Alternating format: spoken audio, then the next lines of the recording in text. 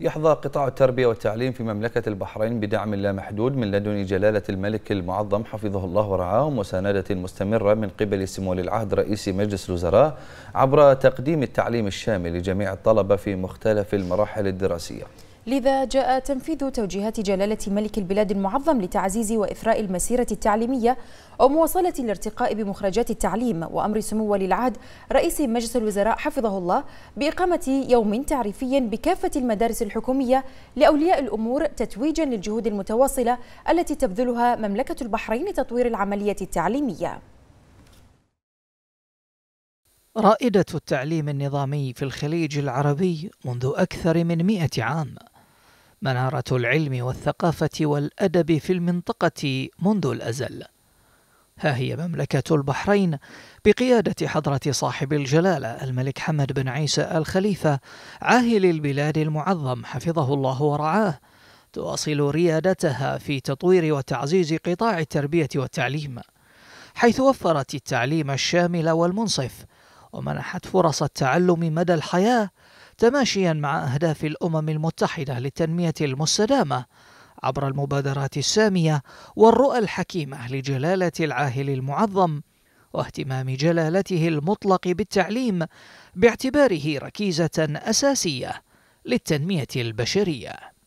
كما كان لمملكة البحرين السبق على صعيد تكنولوجيا التعليم بمنطقة الشرق الأوسط من خلال إطلاق مشروع جلالة الملك حمد لمدارس المستقبل الذي يهدف إلى تحويل التعليم الحكومي إلى تعليم إلكتروني تماشيا مع أهداف التنمية المستدامة.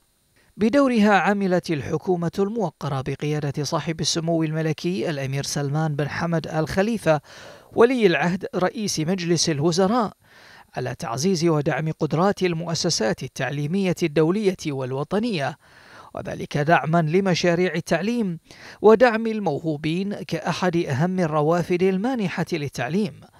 ولعل من أهم المبادرات التي تقدمها حكومة مملكة البحرين في مجال دعم التعليم برنامج ولي العهد للمنح الدراسية العالمية.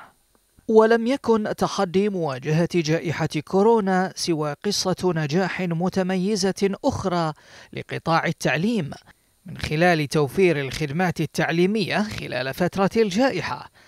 حيث بذلت المملكة جهودا كبيرة لضمان استدامة الخدمات التعليمية الرقمية وتوفير التعليم عن بعد إلى جانب تقديم الدروس المتلفزة لضمان ديمومة العملية التعليمية وعدم تأثرها بظروف الجائحة.